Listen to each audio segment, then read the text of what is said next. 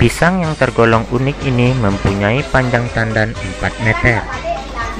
Selain tandan yang panjang, keunikan lain dari pisang ini adalah memiliki buah yang berjumlah ratusan. Pisang ini tumbuh di depan rumah Untung, di kawasan Payo Lebar, Kecamatan Jelutung, Kota Jambi.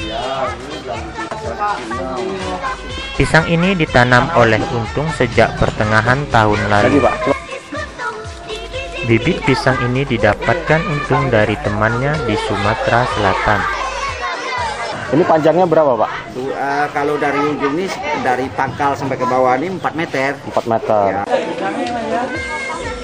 Walaupun unik, rasa pisang ini tetap sama dengan rasa pisang lainnya.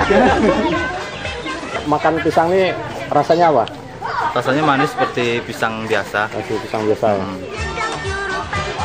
Sang pemilik pisang berniat jika pisang ini sudah matang semua, akan dibagi-bagikan kepada warga sekitar secara gratis. Aldi Pandri, Info Jambi TV.